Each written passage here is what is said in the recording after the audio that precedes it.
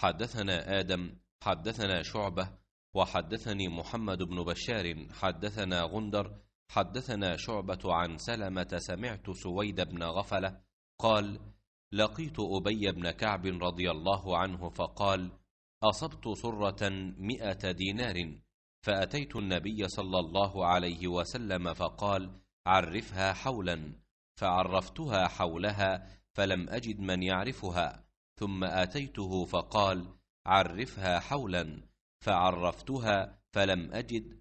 ثم أتيته ثلاثا فقال احفظ وعاءها وعددها ووكاءها فإن جاء صاحبها وإلا فاستمتع بها. فاستمتعت فلقيته بعد بمكة فقال لا أدري ثلاثة أحوال أو حولا واحدا.